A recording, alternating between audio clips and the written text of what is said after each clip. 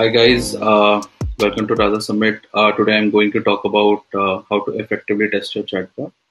I'm by profession I'm a QA and I have over decade and a half years of experience in QA.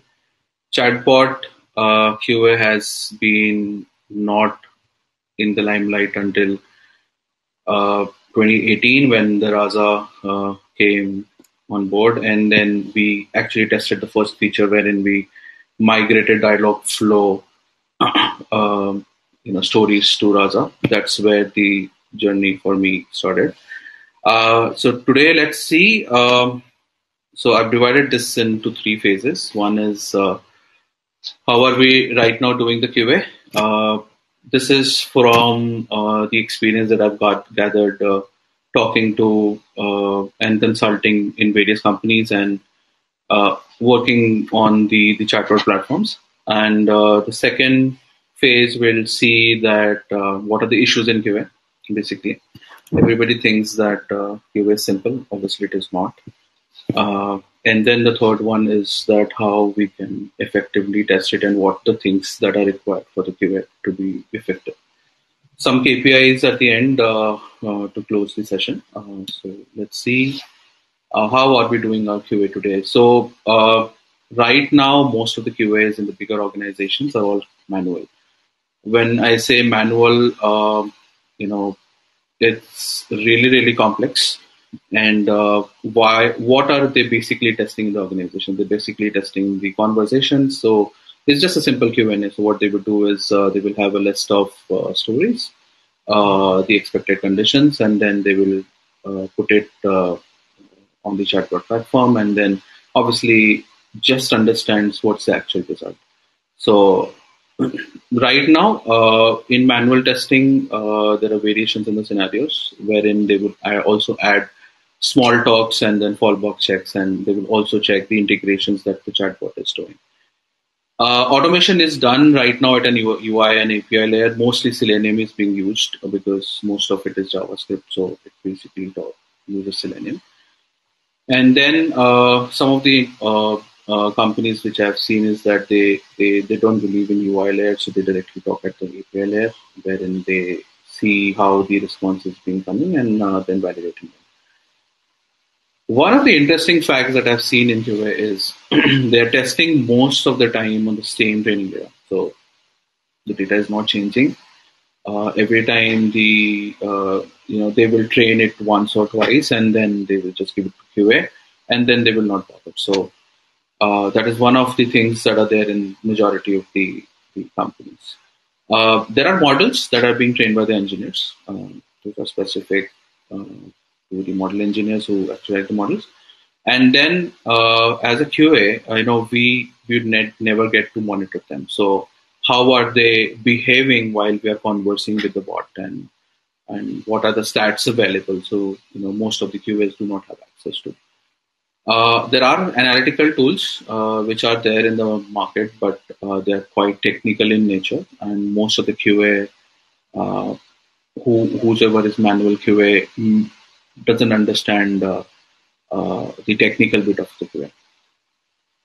In at the res- what's the result here is that most of the time, ninety percent of the time, the bot breaks and nobody understands why it is breaking. Um, most of the time, if you look at the bots that are there in the market, uh, they they basically go into fallback mode and then they do not recover. You just need to hit the page uh, refresh. Uh, you need to refresh the page, or you know, you, there is no way that you can reset it. Uh, so, what are the issues in QA uh, that that uh, that are there?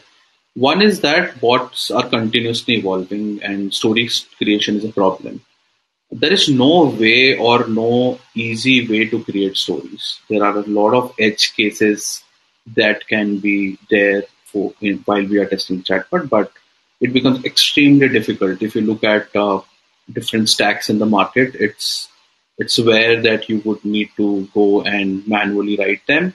You may end up, uh, uh, you know, not having the right structure. It would start giving issues, so nobody's there to validate. Uh, one of the important things and the issue is that there is no tool to manage story coverage. So let's assume that there's a company who has got 1,000 stories and then we have automated it somehow and then we're executing it. You never know what's the story coverage there. That means whether I'm 80% done and 100% done, you know, there is no no way that you can basically measure it.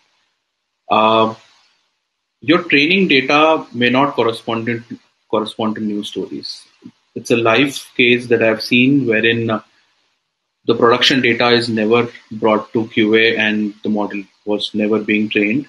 And that's the reason, you know, since the stories are changing, uh, the data is changing, the underlying data is changing, uh, you know, uh, it doesn't match up uh, that way. Most of the tools that are there in the market from automation perspective are all record and playback. So they encourage you to do a record and playback, but in the in the in the actual conditions, uh, uh, these are a part of part and parcel wherein you can create stories with with the with the idea, but then uh, it is not the way it is in the actual conditions. Uh, one of the biggest problem is that, say, for an example, if I'm in Rasa, I'm using Rasa and I'm going to some other provider or some other provider Rasa, there is no portability available, very easy portability available right now. Uh, so companies do fear moving from one platform to another and they think a lot. Uh, I have been into a condition wherein we were following simple state transition way of uh, managing our chats, but then we did not want to go and check on Rasa or any other platform because of a reason that our underlying data is too complex and too heavy. Um, there are no centralized dashboards available right now. There are tools which are coming up with this.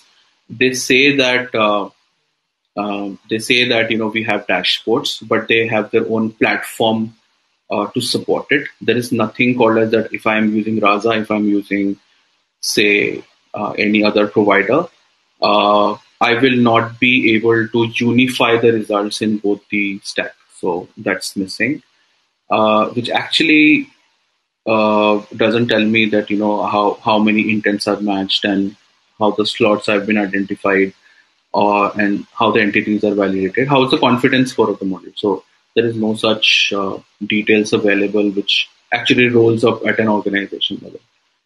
Um, there is no easy way to reset the failed bot. That's the problem with the QA. So we may need to call an API which can reset it. Once it is stuck, it is stuck bot versioning is a mess uh, wherein uh, the A/B testing becomes really difficult uh, because uh, there is no uh, standard way of uh, bot versioning available, and every tool has their own way of versioning. So when you're working with multiple stacks in the same organization, becomes extremely difficult. one of the things which I've seen while I was doing QA is the multilingual testing, wherein um, one language is in English, one is in different uh, language. Difficult to test them. Uh, you know, most of the cases we have to make two separate bots, uh, which is actually a, a real pain uh, for the QA. There is one more problem that we have seen in the QA is that uh, if you have a high confidence score, uh, you know, it's also a problem because it will start predicting the same thing again and again. So the data is same for multiple intents, uh, will predict one with the highest confidence score, so which may be an incorrect way uh, for the model to basically predict. So how can uh, we know where my bot is failing? Um, so how to make your test effective? Uh, one way to do it is that uh, you create scenarios which actually includes your happy path, contextual questions, digressions, uh, domain specific questions, stateless conversations. So what we do is that when we do QA, we basically segregate our scenarios into these buckets. Uh, and then what we do is we try to see, you know, how they are performing at each levels and then fine tune the way the chatbot works. Um, we also have seen that, you know, you need to map your entities properly for common scenarios like uh, if I'm paying the fee for a bus and also I'm paying a fee for my tuition, okay, and if I do not have uh, uh, entities for say bus, I just mention it like uh, like uh, data, then it always uh, map to my tuition fees, even if I will be asking for the bus fee. So that is where uh, you know we may need to see that uh, you need to have your entities which are flow based and, you know, and map to the stories. Um, automated tests uh, should consume all stories and run them each time as part of the regression. So what we do is uh, here, and you know, uh, uh we have created one wrapper for exclusive for Rasa, wherein we we used to extract all the stories and then try to automate it. So we basically use the data, and then if you uh, if you look at the small uh, Excel here, we used to basically also understand how the coverage is managed. So we basically used to have a flow state, flow state, which, and we, we basically used to green them as and when we, we are touching the stories and the lines of it.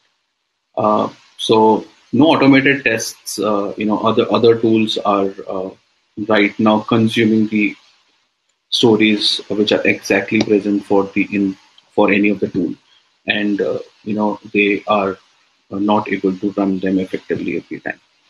Um, the other way to do it is that you should have a story coverage visualization, which actually tells you how the coverage is at each scenario level. Uh, and then, you know, basically it would also tells you that whether you have sufficient data that to test your test your bot, and uh, that sufficient data is actually mapping to different uh, stories. Um, we prefer uh, to do manual testing if you're at, at least doing manual testing to use a bot emulation product like Rasa X or BotFront because uh, it becomes extremely easy uh, if uh, things are not matching, and but there are easy ways in Rasa X to basically match them to uh, the things. Uh, other than that, we need to have a centralized dashboarding which actually gives us the confusion matrix, the precision recall, and F1 score for the model. Also checks the also gives us the value for cumulative accuracy. And then uh, one of the important things that we have seen is cross validation. It's one of the uh, coolest way to uh, actually measure how your bot is, what performance is. So that's important. Um, we also need to do exhaustive testing. That means you need to have all the permutation and combination of the data set. We always believe in QA that we should not be doing exhaustive testing, but in case of chatbots, we have to do this. Uh, it basically ensures bot resiliency against uh, the different kind of data that could be put across.